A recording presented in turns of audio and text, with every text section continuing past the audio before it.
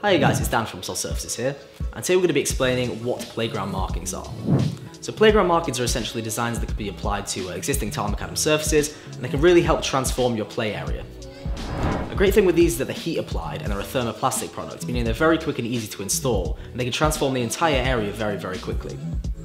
You can choose from a variation of both educational or recreational uh, products or to have installed. So for example, the educational markings can be kind of a number and letter based to help education, whereas the recreational markings can be used more for activity and health.